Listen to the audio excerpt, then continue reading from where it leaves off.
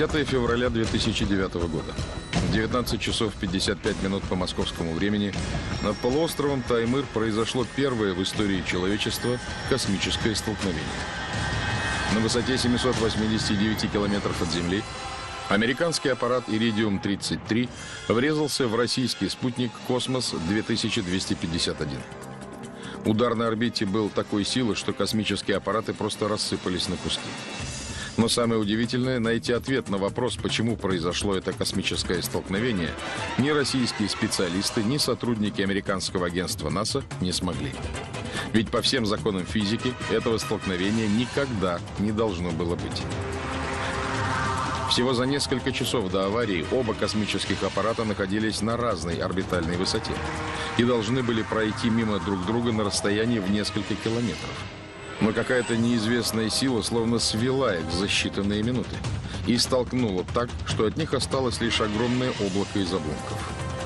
Но и это не самое удивительное. Самой большой необъяснимой загадкой стал странный сбой электроники американского космического аппарата. Специалисты из НАСА, заметив опасность, пытались увести свой Иридиум-33 на другую орбиту.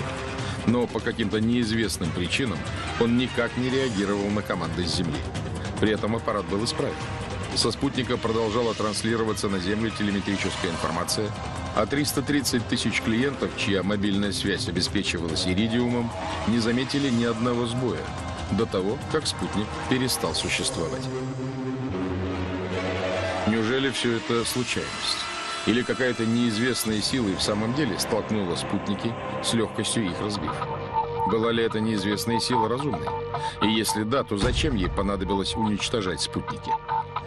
Многие специалисты уверены, в космосе происходят процессы, которые человек не в состоянии ни понять, ни объяснить. И как только человечество делает очередной шаг за пределы Земли, как только приближается к тайнам неизведанного, Какая-то загадочная сила дает о себе знать, словно выставляя некие блокпосты для охраны своих тайн.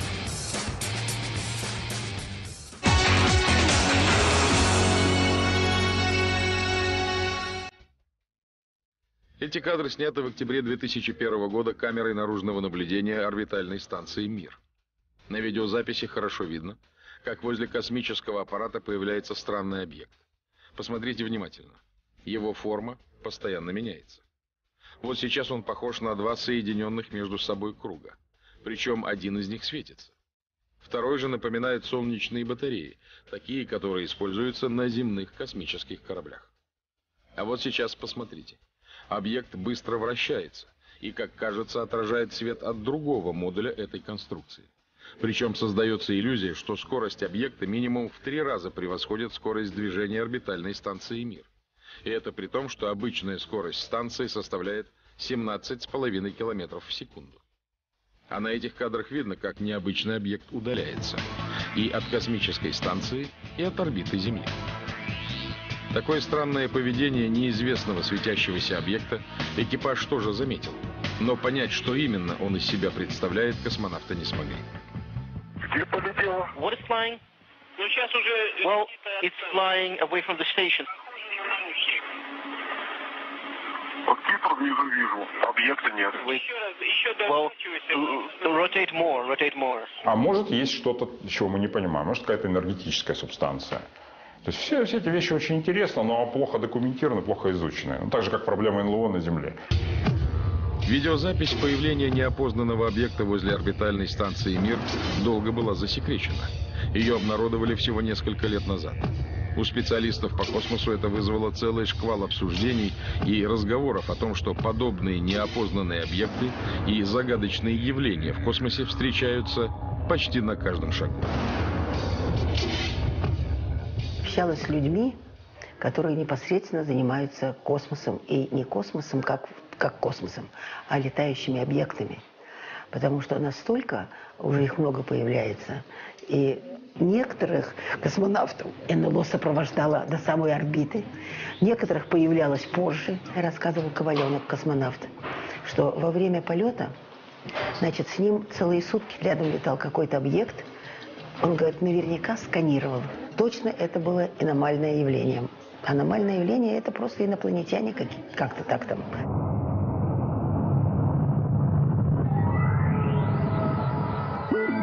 Но это еще не все.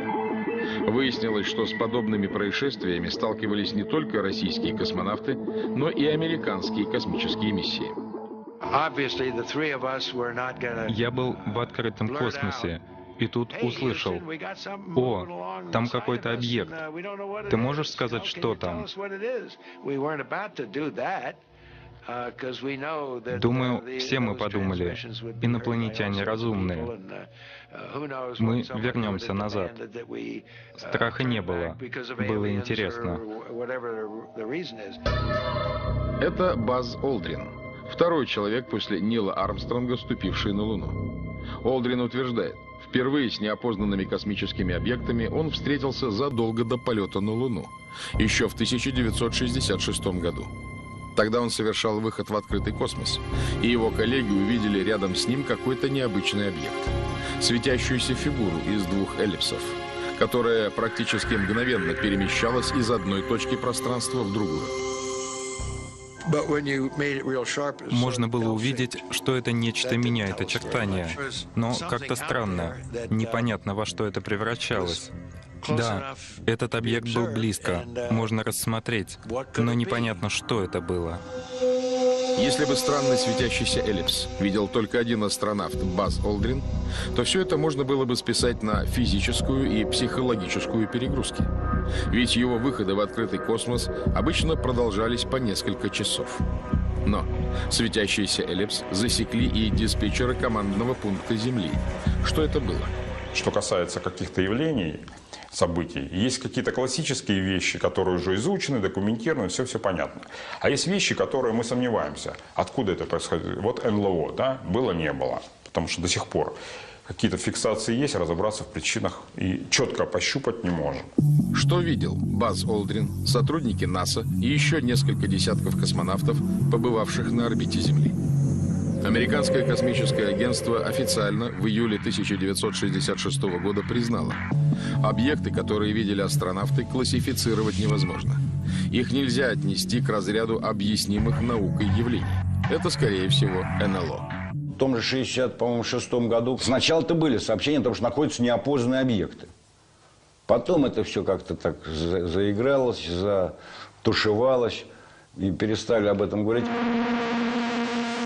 Спустя несколько лет после странного инцидента в 1973 году начальник отдела информации аэрокосмического агентства НАСА Дональд Цистра озвучил шокирующую статистику. 25 астронавтов, участвовавших в лунном проекте «Аполлон», не только видели, но и зафиксировали на пленке странные объекты в космическом пространстве. Если вот так посмотреть на те же видео, видеоролики НАСА, которые в свободном, так сказать, обращении есть. То, что мы называем НЛО в космосе, их полно там их вот летает. Не просто были случаи, а их там полно. Самое удивительное, что все космонавты, побывавшие на орбите Земли, часто рассказывали о странных явлениях, с которыми сталкивались в космосе. Тема плохо и мало изучена, потому что космонавты избегают об этом говорить, иначе э, наши любимые врачи в белых халатах э, потом тебя э, значит, освободят а от профессии и дадут отдохнуть. Юрий Гагарин неоднократно рассказывал в своих интервью, что слышал на орбите красивую музыку. Космонавт Александр Волков, трижды побывавший в космосе, говорил о том, что отчетливо слышал лай собаки и детский плач. Значит, что-то происходит в космосе. Они особенно не откровенничают, понимаете? Безусловно, что-то они видят. Не, не все рассказывают, но они, слава богу, хоть сейчас стали говорить. Все это можно списать на галлюцинации, которые вполне возможны при столь серьезных психических и физических перегрузках. Но никто из космонавтов назвать это галлюцинациями не соглашается. Ощущения, звуки, картинки были слишком реальны. Абсолютно у всех людей, испытавших подобные ощущения, создавалось впечатление своего полного присутствия в реальности, наполненной этими странными видениями. Более того, некоторым казалось, что их тело трансформируется, изменяется, становится частью этих грез наяву. Человек мог войти неожиданно в образ там, динозавра. Один из них, вот кто мне рассказывал непосредственно, стал динозавром, условно говоря, мягко съехала крыша, и шел в стаде там по каким-то оврагам, видел свои лапы, у него там вздыбились пластинки, ор, орало стадо, он вместе с ними. В общем, ощущал себя натуральным динозавром. Это меня потрясло до глубины души. Длится достаточно долго, субъективно. А если посмотреть по хронометру, по времени, то это было буквально там несколько минут. 3, 4, 5 минут. При этом фото- и видеоаппаратура ни разу не зафиксировала то, что видят космонавты. И самое ужасное, почти всегда эта нереальная реальность очень сильно пугала их. И это был не просто страх. Эти ощущения словно въедались в самые глубины подсознания. Забыть эти видения и звуки не удалось никому. Удивительно и другое. Врачи, обследовавшие советских космонавтов, пришли к любопытному выводу, что подобные видения на орбите Земли как будто бы передаются вирусно. Совершенно разные люди с разными типами психики, разным характером и жизненным опытом часто видят и слышат в космосе одно и то же. Есть такая гипотеза, что есть универсальное информационное поле, которое находится как бы над землей. Есть, есть такая вещь завиральная, может кому-то покажется, что можно, а, что у нас вообще-то ничего нет. Наш мозг это все-навсего приемник и передатчик, а вся информация висит там где-то. И мы только в какой-то момент получаем канал связи. Раз, подключился к этому всемирному там, информационному полю, получил что-то. Космонавт вот там физически может окунуться в это буквально и что-то чиркнуть, что-то воспринять. Что это, космическая аномалия? Или, может, на человеческий мозг просто влияют космические излучения? А может, все это просто неизвестный нам механизм человеческой психики?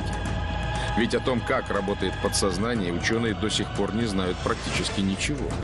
О том, как может измениться «я» человека при нахождении в космическом пространстве, можно лишь строить догадки.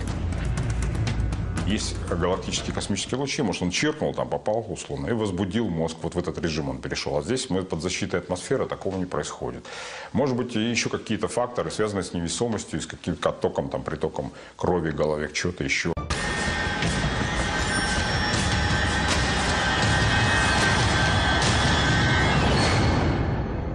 Станислав Лем в своем фантастическом романе «Солярис» так описывает некую разумную сущность, которую изучают его герои. Океан – источник электрических магнитных гравитационных импульсов.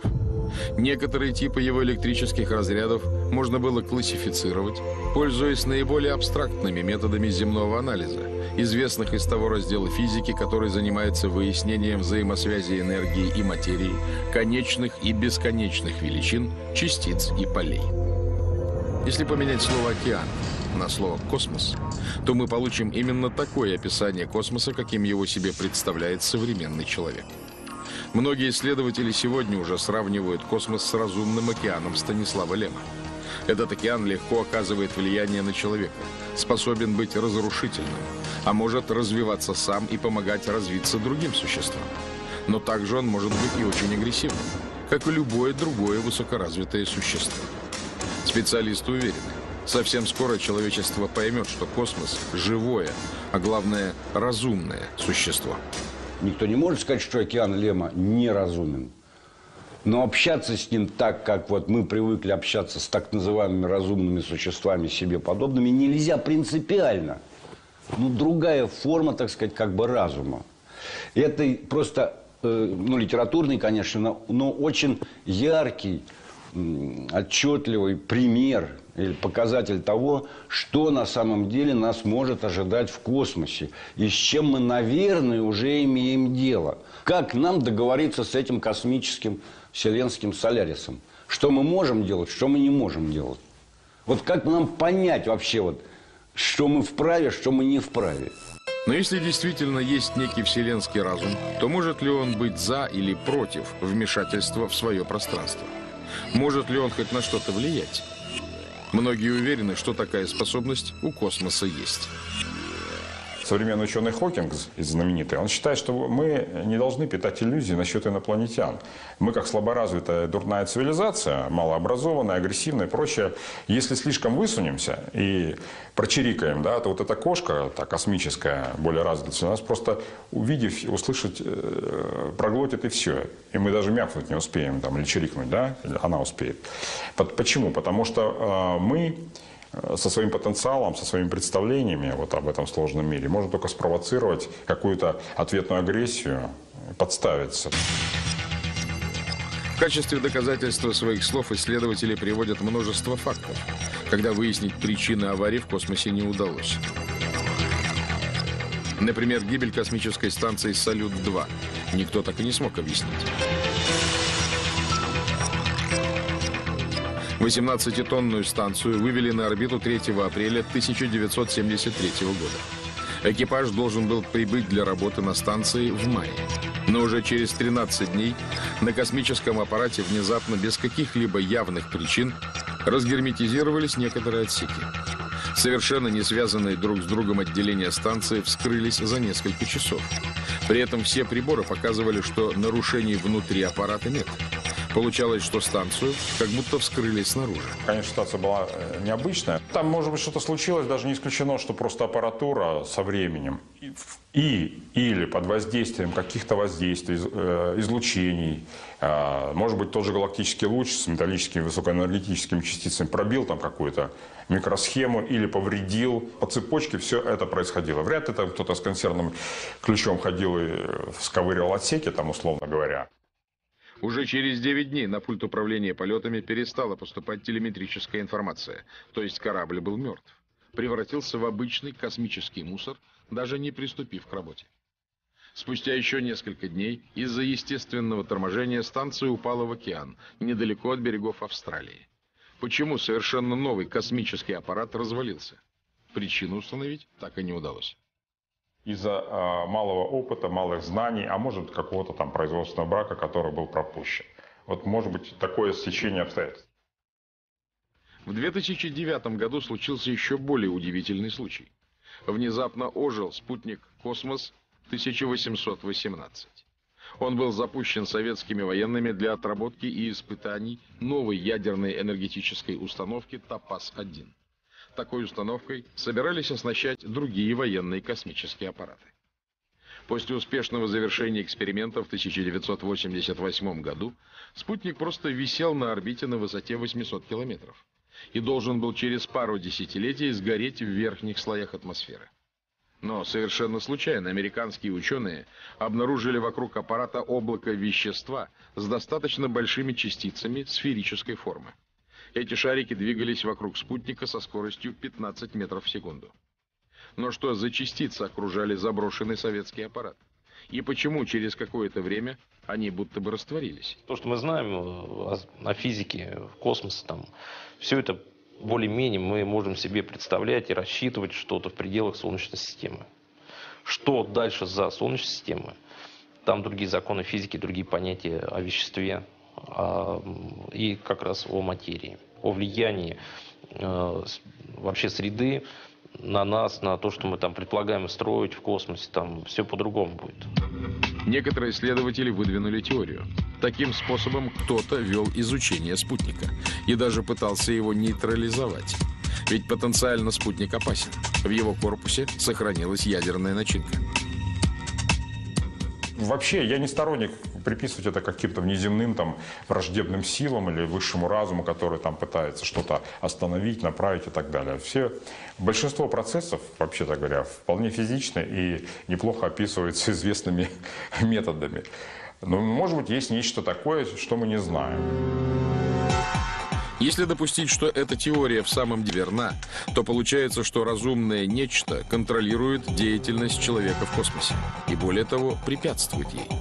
Получается, что некие разумные космические силы почему-то выступают против человеческого вмешательства в космическое пространство. Космический разум пытается ограничить землян. Но почему? Для чего? Почему космос не хочет нас выпускать далеко за пределы Земли? Не захватчиком надо быть в этом мире, а равноправным партнером, уважительно относящимся к окружающему миру. А мы же даже не варвары, мы хуже животных. Животные так не уничтожают друг друга, как мы, изобретая все новые и новые средства смерти. Кто мы? Поэтому нас не пускают никуда. Многие исследователи уверены, никакой речи о разумном космосе идти не может. На самом деле все странности космоса и многие катастрофы случаются потому, что наши соседи по звездному пространству пытаются нас как-то остановить. Да, видимо, есть некий ментальный барьер, когда внеземное там мыслящее поле информационное или какой-то творец э, таким образом нас уравновешивает, ограничивает. Ребята, пока вы тут не договоритесь, не научитесь вести себя прилично, экологично, вам не светит ничего. Не разумный космос, а вполне конкретные разумные существа не хотят пускать нас во Вселенную. И причина вполне банальна. Они не хотят войны, которую человечество в ближайшие годы способно развязать. Это чтобы не то, что обезопасить себя, они значительно мощнее, чем мы. Дело все в том, что мы по своему незнанию, по своему такому залихватскому эгоизму себя можем очень быстро уничтожить, просто не осознавая то, как ребенок, который пальцы сует в розетку с электричеством. Не секрет, что гонка вооружений продолжается и сейчас. Разница лишь в том, что теперь крупнейшие страны не просто накапливают ядерный потенциал и разрабатывают новые виды наземного оружия. Теперь они создают оружие, способное воевать за пределами нашей Земли. Полно всякого оружия, в том числе сначала занимались чем? Э, противоспутниковое оружие, то есть уничтожать какие-то спутники. Помните, это еще было в 70-е годы. Много в открытом виде опубликовано. Конечно, со временем была идея СОИ – когда в космосе разместить оружие, чтобы можно было э, давить объекты на Земле, включая высокоэнергетические лазеры или стреляя туда ракетами, что угодно. Первыми, кому удалось создать оружие, способное воевать на орбите Земли, были американцы. В 2006 году всему миру они представили летательный аппарат X-37B. Конечно, технологии есть, и всегда есть соблазн э, стать лидером, значит, пытаться быть сильным, диктовать другим волю, особенно когда правил игры-то нет. Ни Китай, ни Россия, ни сами Соединенные Штаты не имеют средств для противодействия вот такому виду оружия. Причин, почему у нас этого нет, очень много. Но прежде всего потому, что этой отраслью военного применения э, космических аппаратов космосом не занимается в принципе в стране никто. В России сегодня тоже разрабатываются подобные космические аппараты. А значит, холодная война продолжается. Только теперь события разворачиваются за пределами Земли. И сейчас непонятно, что будет происходить дальше, потому что э, ряд аспектов международных э, соглашений не урегулирован. И эта гонка вооружений в космосе может начаться, в том числе с использованием новых технологий. Те же лазерные лучи, какие-то плазмоиды, какие-то а, опять энергетическое оружие совершенно нового принципа действия и так далее, и так далее. Все это может быть. Мы тут на Земле плохо договариваемся, чисто по земным системам. А в космосе, конечно, если открыть этот ящик Пандоры и попытаться там творить все, что хочешь, и э, не ограничивая, то, конечно, можем получить массу, массу проблем. Некоторые ученые уверены, через несколько десятилетий многие страны достигнут такого уровня развития, что смогут начать звездные войны. Может быть, наши соседи по космосу пытаются обезопасить космическое пространство от агрессивных землян? Когда вот профессор Бутусов настаивает на том, чтобы за Солнцем находится такой, ну, как бы двойник Земли, Глория, планета. Вот.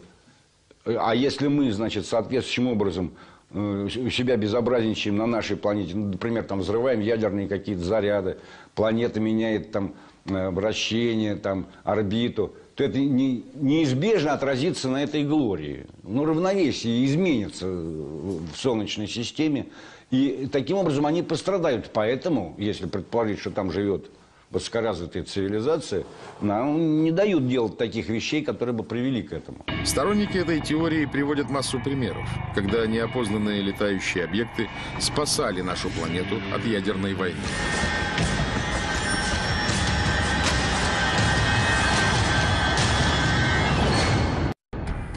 16 марта 1967 года.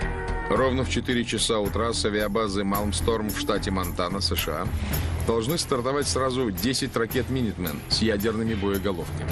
Цель – Вьетнам. Соединенные Штаты в течение трех лет пытались завершить с успехом наземную военную операцию в Южном Вьетнаме. Спецоперации проваливались одна за другой. Американская армия несла колоссальные потери и стремительно теряла контроль над территорией.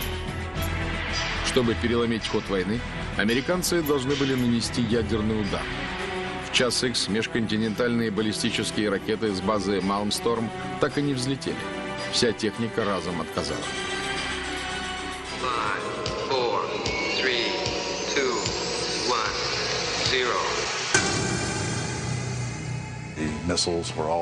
Кто-то просто отключил держатели ракет в шахте. Мы не знаем, что за сила, что за технология могла их дезактивировать, но факт остается фактом. Контакты отключились. Они умерли. Что-то их выключило. Уже на следующее утро для расследования инцидента на базу «Малмсторм» прибыла группа экспертов из Пентагона. Они предполагали, что отказ ракет одного типа означает, что при их производстве была допущена серийная ошибка, и ракеты вышли с завода с браком. Но после исследования каждого из десяти зарядов стало очевидно, ракеты абсолютно исправны. Причину следует искать в другом. Только через неделю расследования точная причина сбоя была установлена. Кто-то отключил пусковой механизм. Но кто это мог сделать на секретном и строго охраняемом объекте? Тем более, что у главных кнопок были лишь представители военного командования. А спуститься в пусковую шахту и вручную вывести из строя механизм просто невозможно. Подробности этого инцидента на базе ВВС «Малмсторм» хранились в условиях строжайшей секретности. Подписку о неразглашении дали все. Не только те, кто был в тот день на дежурстве, но и весь персонал военной базы. Однако спустя 30 лет, когда срок неразглашения истек, военнослужащие 28-й дивизии ВВС США стали давать просто шокирующие интервью. Они рассказывали, высокоточная техника была выведена из строя НЛО. Примерно за час до пуска ракет прямо над базой ВВС появился странный объект сигарообразной формы. От него исходил ярко-красный свет. Объект завис прямо над шахтами с ракетными установками. Провисев в воздухе около 30 минут, НЛО исчез так же внезапно, как и появился. Еще через 15 минут ракеты вышли из строя. Красный светящийся объект завис над крайней правой шахтой, и я его сам видел. Диспетчер тоже докладывает. Мы все видим красный светящийся продолговатый объект. Мы были в шоке. Наши ракеты отключались одна за другой. Сейчас я точно не могу сказать, сколько их было, то ли 16, то ли 18, но все они ломались, как карточный домик. Все рассказы отставных военных можно было бы считать выдумкой. Но за версию инопланетного вмешательства выступили другие рассекреченные военные документы. В конце 90-х годов выяснилось, что в ту же ночь точно такой же НЛО видели и на других соседних авиабазах ВВС США – так, в 50 километрах на базе «Оскар Флайт» над ракетными шахтами тоже видели красный светящийся объект в форме сигары. И на этой базе ядерные боеголовки, так же как и на базе «Малмсторм», вышли из строя. Еще 9 ракет отказали на другом полигоне «Экофлайт». И все это случилось в одно и то же время. Между тремя и пятью часами утра 16 марта 1967 года. Объект был в небе, и военнослужащие, бывшие на дежурстве, и все, кто просто не спал в ту ночь, мы все видели НЛО над базой. Он был металлический, продолговатой формы. Неужели то, что на всех военных базах США в один и тот же день отказала вся ядерная техника, простое совпадение? Велика ли вероятность такого стечения обстоятельств? Но большинство исследователей и очевидцев странного происшествия уверено в том, что это результат вмешательства какой-то инопланетной цивилизации. Пришельцы, благодаря какой-то технологии, сумели отключить ядерные боеголовки на трех базах ВВС США. Вполне возможно, этот инцидент – не что иное, как попытка внеземной цивилизации предотвратить ядерную войну. Я считаю, и все мои коллеги уверены, кто бы ни намеревался воспользоваться ядерным оружием, Вашингтон или Москва, пришельцы отправляют на Землю некий сигнал, и это оружие отключается. Нам дают понять, мы играем с огнем. Ядерное оружие может уничтожить человеческую расу. Сразу после странного инцидента Пентагон запустил специальную секретную программу «Гродж» по розыску и поимке таинственных воздушных объектов. Если верить рассекреченным недавно документам, то именно в 1967 году Соединенные Штаты объявили настоящую охоту за НЛО. Именно с этого года всем американским военным вменялось в обязанности отслеживания всех показаний радаров на предмет появления в воздухе любых подозрительных и неизвестных объектов. Тогда же были созданы специальные группы быстрого реагирования, которые по тревоге вылетали даже при простом подозрении на то, что в небе появился НЛО. Это лейтенант Чарльз Браун. Он был офицером секретной программы «Гродж». Браун утверждает, с 1967 года и до сих пор программа действует. Мы фиксировали объекты, перемещавшиеся на фантастических скоростях. Несколько тысяч миль в час. В то время земная техника так летать еще не могла. А наши радары фиксировали это. У нас есть даже снимки.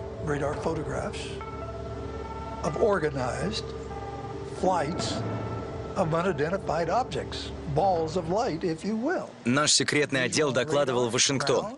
Мы засекли организованные полеты целых эскадрилей НЛО. И они появлялись и исчезали, когда хотели. Если допустить, что НЛО действительно появлялись на территории США и при каждом прилете подвергались преследованию, то становится совершенно очевидно. Считать землян дружелюбными они уже не будут. В истории человечества был еще не один удивительный эпизод, когда какая-то неведомая сила не давала землянам вести исследования в дальнем космосе. Более того, земные космические аппараты просто не могли вылететь за пределы Солнечной системы. Человекоподобные какие-то создания тоже являются представителями вот этого неземного разума, что они, ну, как бы так или иначе смахивают на людей – а значит, с каких-то, может быть, там других планет. Но если они преодолели пространство этих, между этими планетами нашими, или преодолели какие-то другие иные барьеры, ну, например, частотные, может, они из параллельного мира, то они априори значительно мощнее, умнее нас. И, так сказать, точно знают, куда нас не, не надо пускать. Ну, просто, как я уже говорил, чтобы мы сами себе ну, не навредили. Вот. Ну и им заодно.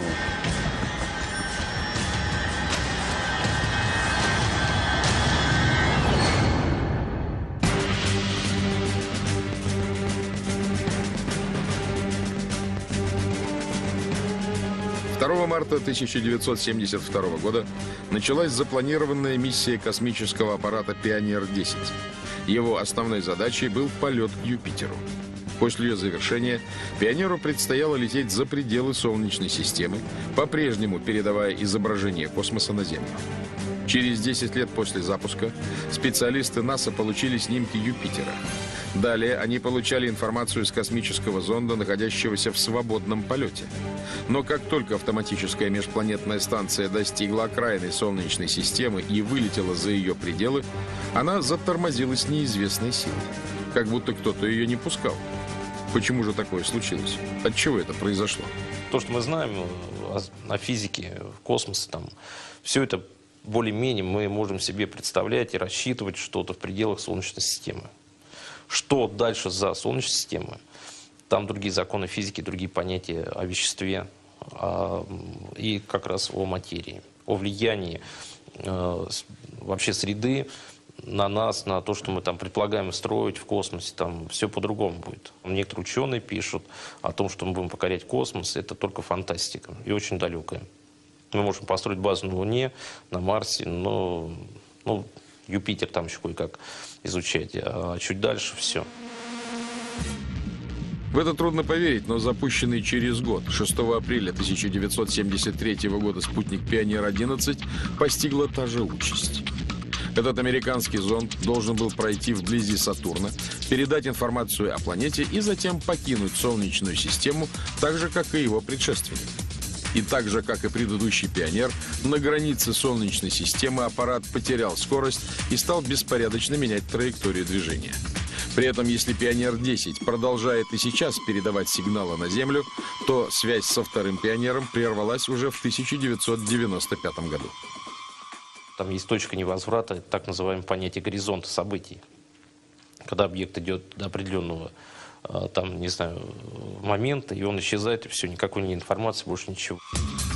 Так что же происходит со спутниками? Почему их миссии становятся невыполнимыми на границах уже вполне изученного человеком пространства? Почему они не могут продвинуться в космическом пространстве дальше нашей звездной системы? Космос – это территория, в которой, так сказать, начинают, собственно, основные владения вот этих разумных сил. Они, конечно, и на Земле действуют, но там, где нас нет, вот в космосе во всем, может быть, остальном, их, так сказать, епархия, естественно, это и является, это их епархия. Нас туда не пускают. Нас не пускают туда, чтобы мы не безобразничали. Многие в эту версию не верят совсем. Ведь согласно другому предположению, американские ученые не рассчитали внештатную ситуацию с утечкой газообразного топлива. Оно просто окончилось раньше, чем рассчитывали ученые, и аппаратам стало не хватать мощности для полета. Это топливо давно кончилось, по большому счету. Там происходит по инерции движения объекта. Он уже разогнан давно и летит. В эту версию можно было бы поверить, если бы не одно «но». Как объяснить, что все аппараты тормозили на одной и той же границе? Не могли же оба аппарата сломаться одинаково? Причем практически в одном и том же месте космического пространства.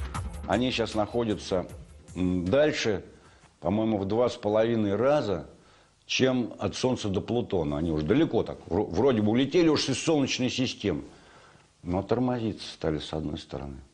Чего это они тормозятся-то?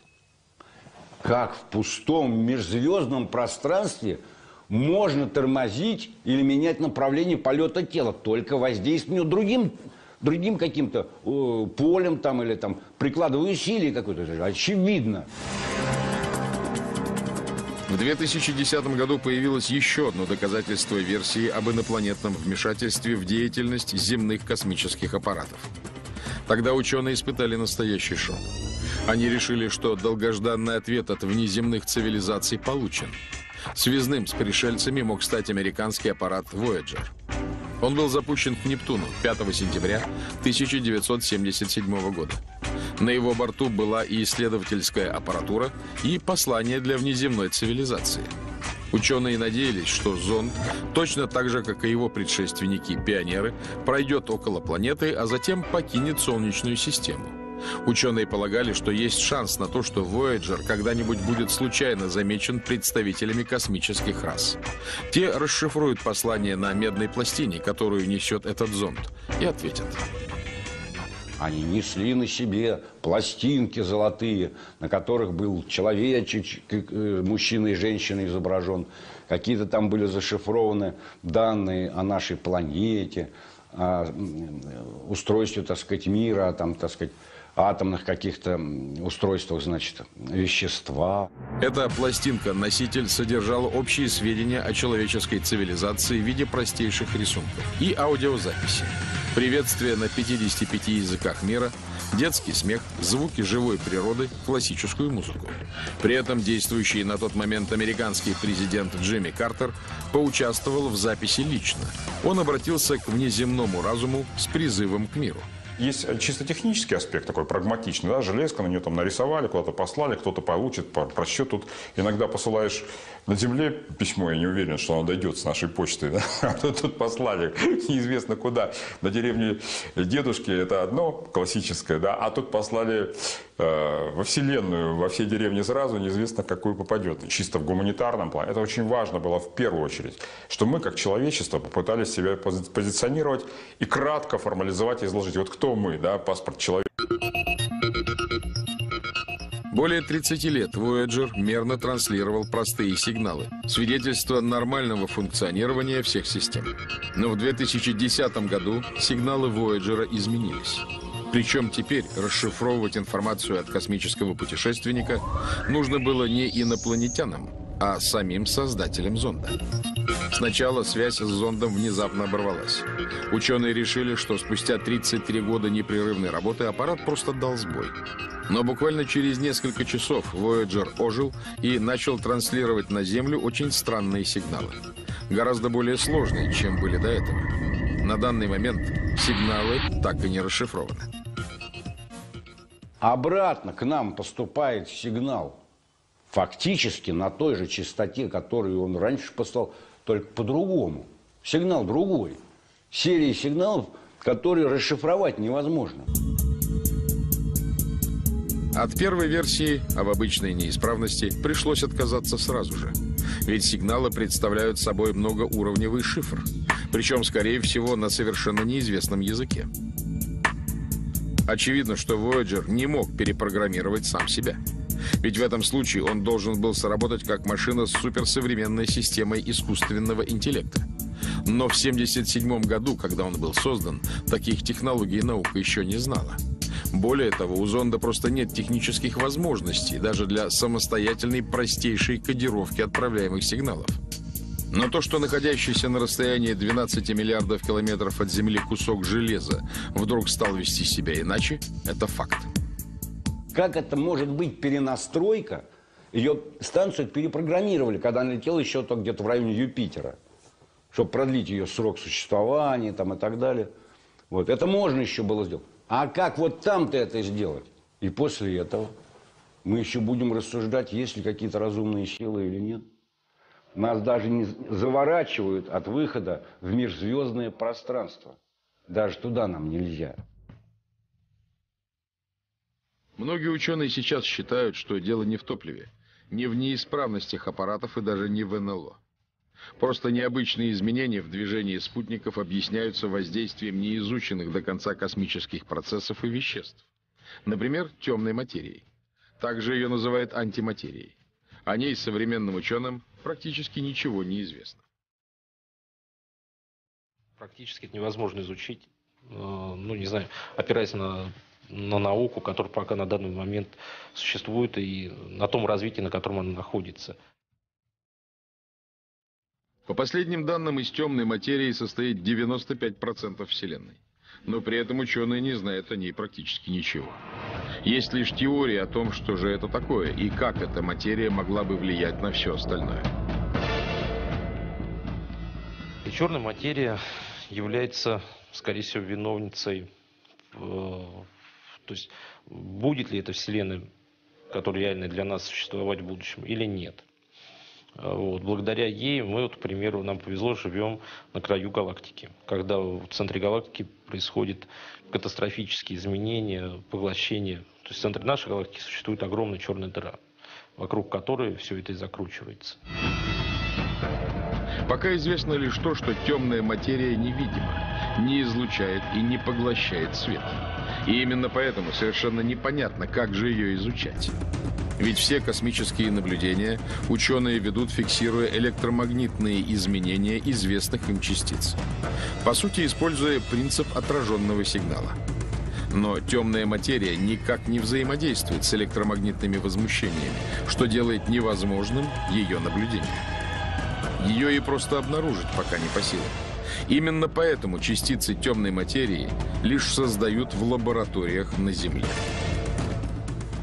Недавно были сделаны открытия в области линзирования. И то, что раньше астрономы наблюдали а, звезды, там все в данный момент начнут, видимо, пересматривать.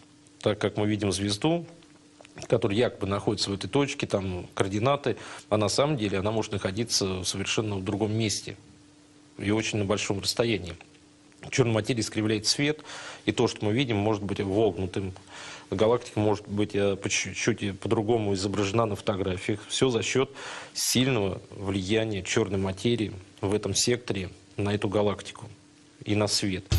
Некоторые исследователи считают, что частицы темной материи могут создавать сильнейшие гравитационные эффекты. Но сейчас лишь предпринимаются попытки, чтобы установить, так это или нет.